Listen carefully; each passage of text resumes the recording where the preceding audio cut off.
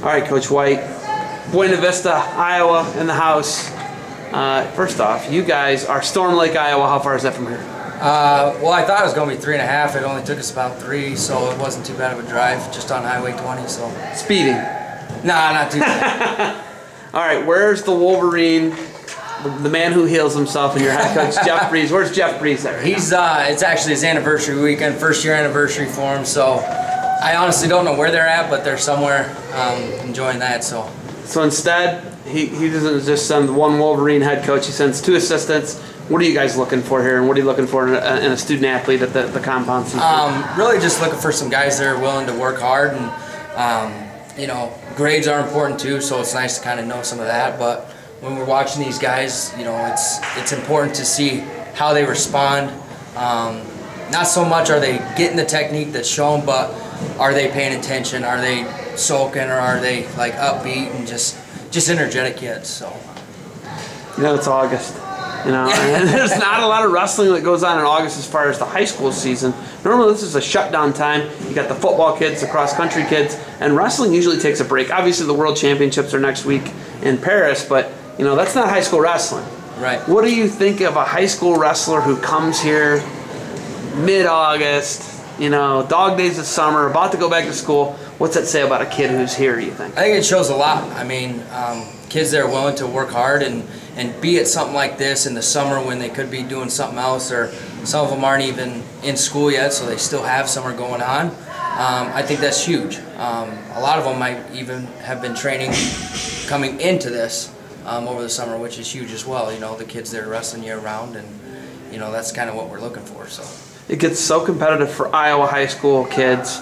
Um, you got so many colleges here, so many Division three opportunities. Um, you know, not everybody's a Hawkeye or a Cyclone or a Panther in Division one level. When you talk and you're looking for a, a D three kid, do you think most of the kids you guys recruit can win NCAA titles for you guys? No, I don't. I don't think the kids that we recruit, every single one of them, you know, they're not going to win an NCAA title. I mean, you'd like to think, hey, when I get this kid, he's got the opportunity to, and everyone does have the opportunity, but only a small number get that opportunity to, to win one. So, you know, it's it gets tough with all the Iowa high school or the Iowa colleges and even the surrounding states um, trying to recruit against. But really, when it comes to recruiting, we want kids that are going to work hard, and in the end, they're going to get a good experience and uh, you know go on to do bigger and better things. You know, the getting the degree. You know, I think Yep. that's ultimately it's a it, it's a vehicle for kids to get a degree. What do you guys? What do you would you say the top program uh, or school is at BVU? Our biggest ones are our business program and uh, our sciences. Our education's pretty good.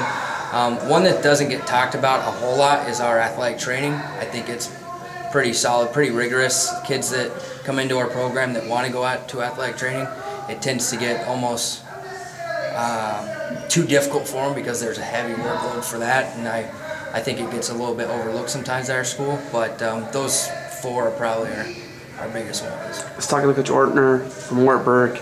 You know, they've won six out of the last seven titles in your guys' division. They're pretty good. Yeah, Do you feel like you guys are chasing them all the time, or you're competing against them for recruiting? Are you chasing them?